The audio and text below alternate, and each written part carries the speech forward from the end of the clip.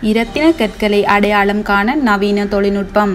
இரத்தின கற்கள் உள்ள இடங்களை அடையாளம் காண்பதற்கு நவீன தொழில்நுட்பத்தை பயன்படுத்துவதில் கவனம் செலுத்தப்பட்டுள்ளதாக இரத்தினக்கல் மற்றும் தங்க ஆபரண அதிகார சபையின் தலைவர் ரெஜினோல்ட் குரே தெரிவித்துள்ளார். தற்பொழுது இரத்தினக்கல் அகழ்வு நடவடிக்கைகளில் கடைபிடிக்கப்படும் நடவடிக்கைகள் காரணமாக சுற்றாடலுக்கு பெரும் பாதிப்பு ஏற்படுவதாக அவர் குறிப்பிட்டார்.